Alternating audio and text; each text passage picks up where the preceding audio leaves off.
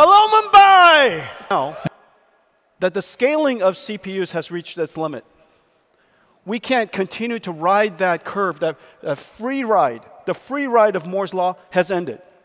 We have to now do something different, or depreciation will end. And we now will not enjoy depreciation, but experience inflation, computing inflation. And that's exactly what's happening around the world.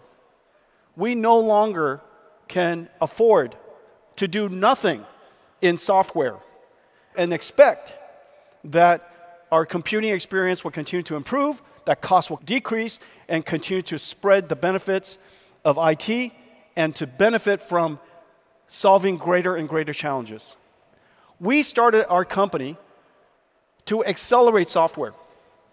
Our vision was there are applications that would benefit from acceleration if we augmented general purpose computing. We take the workload that is very compute intensive and we offload it and we accelerate it using a model we call CUDA, a programming model that we invented called CUDA that made it possible for us to accelerate applications tremendously. That acceleration benefit has the same qualities as Moore's Law.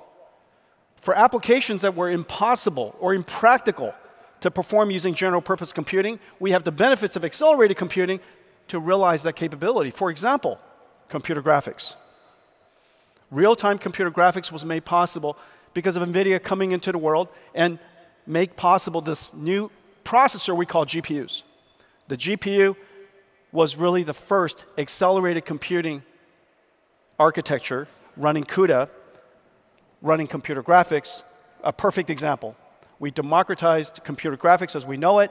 3D graphics is now literally everywhere. It could be used as a medium for almost any application. But we felt that long term, accelerated computing could be far, far more impactful. And so, over the last 30 years, we've been on a journey to accelerate one domain of application after another. The reason why this has taken so long is simply because of this. There is no such magical processor that can accelerate everything in the world. Because if you could do that, you would just call it a CPU. You need to reinvent the computing stack from the algorithms to the architecture underneath and connect it to applications on top. In one domain after another domain, computer graphics is a beginning, but we've taken this architecture, CUDA architecture, from one industry after another industry after another industry. Today, we accelerate. The world has completely changed. Now, let's think about what happened. The first thing that happened, of course, is how we do software. Our industry is underpinned by the method by which software is done. The way that software was done, call it software 1.0, programmers would code algorithms, we call functions, into to run on a computer. And we would apply it to input information to predict an output. Somebody would write Python or C or Fortran or Pascal or C++, code algorithms that run on a computer. You apply input to it, and output is produced. Very classically, the computer model that we understood quite well. And it, of course, created one of the largest industries in the world right here in India the production of software, coding, programming became a whole industry. This all happened within our generation. However, that approach of developing software has been disrupted. It is now not coding, but machine learning.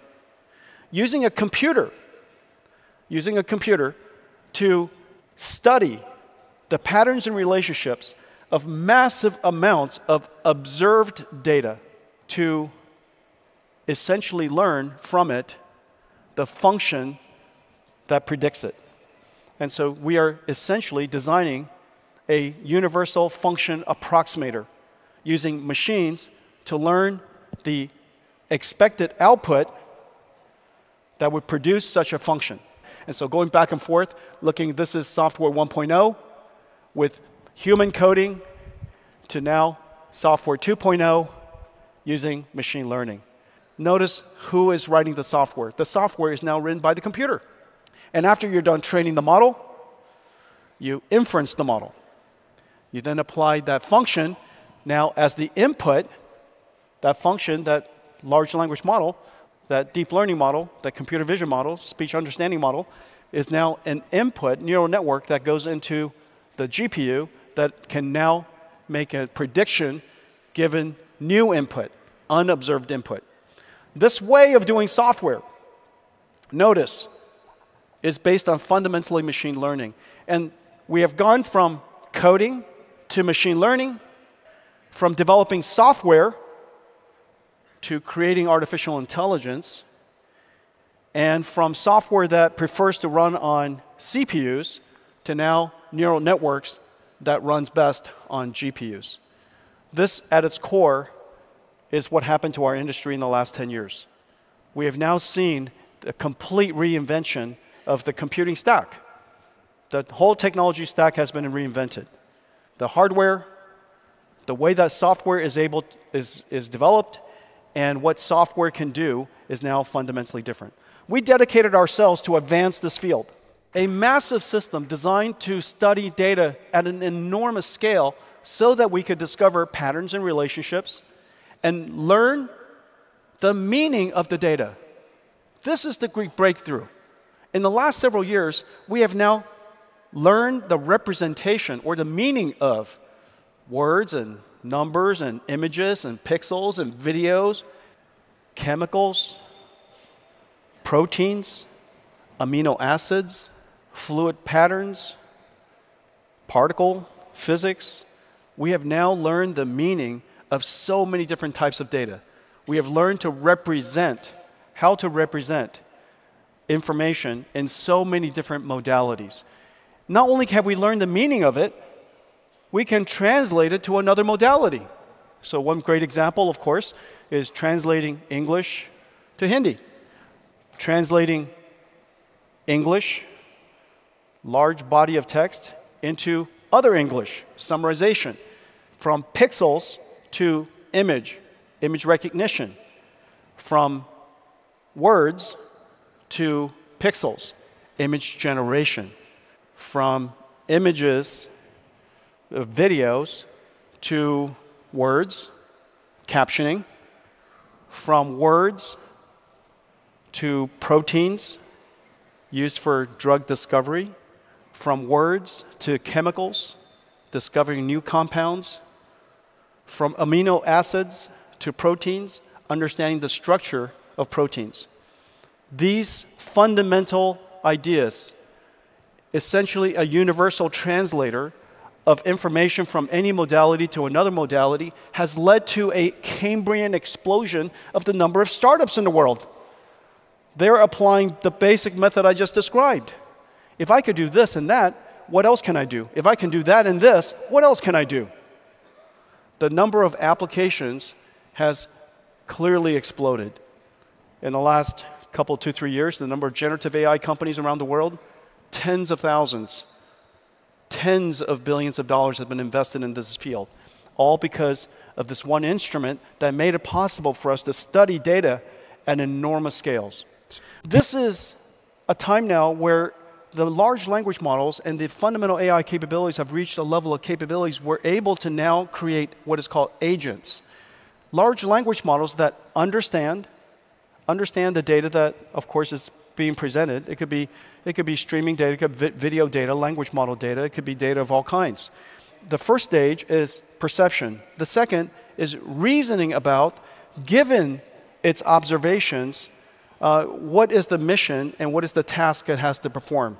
In order to perform that task, the agent would break down that task into steps of other tasks. And uh, it would reason about what it would take, and it would connect with other AI models. Some of them are uh, good at, for example, understanding PDF. Maybe it's a model that understands how to generate images. Maybe it's a model that uh, uh is able to retrieve information, AI information, AI semantic data from a uh, proprietary database. So each one of these uh, large language models are connected to the central reasoning large language model we call agent. And so these agents are able to perform all kinds of tasks.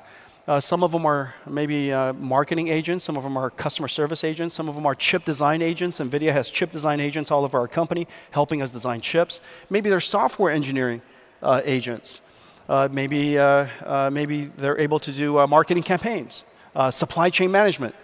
And so we're going to have agents that are helping our employees become super employees.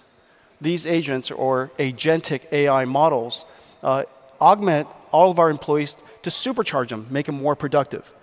Now, when you think about these agents, it's really the way you would bring these agents into your company is not unlike the way you would onboard uh, someone uh, who's a new employee. You have to give them training curriculum. You have to uh, fine tune them, teach them how to use, uh, how to perform the skills, and the, uh, understand the vocabulary of your, of your company. Uh, you evaluate them and so there are evaluation systems. And you might guardrail them. If you're an accounting agent, don't do marketing. If you're a marketing agent, you know, don't report earnings at the end of the quarter, so on and so forth. And so each one of these agents are guardrailed. Um, that entire process we put into essentially an agent lifecycle suite of libraries, and we call that NeMo. Our partners are working with us to integrate these libraries into their platforms so that they could enable agents to be created, onboarded, deployed, improved into a lifecycle of agents.